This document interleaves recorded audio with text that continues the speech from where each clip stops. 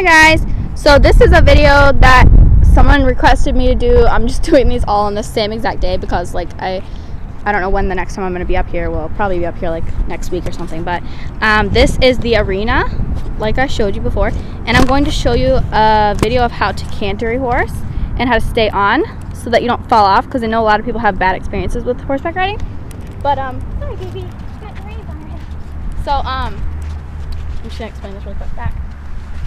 Um, when you canter a horse, you want to um, sit back in your seat a lot because she's like three, so I really have to sit back on her because if I sit forward, I'm gonna like fly forward because sometimes she goes too fast and she'll stop randomly. So it's just like it's really dangerous if you don't sit back in your seat. So you really just want to put all your weight on your booty when you're cantering. And another thing is to like learn how to balance in your seat in that kind of movement.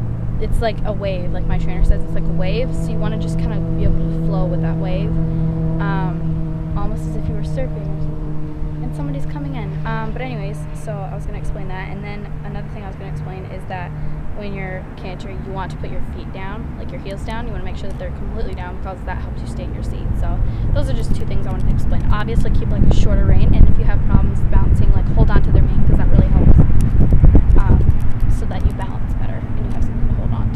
yeah, I'm just going to show you that.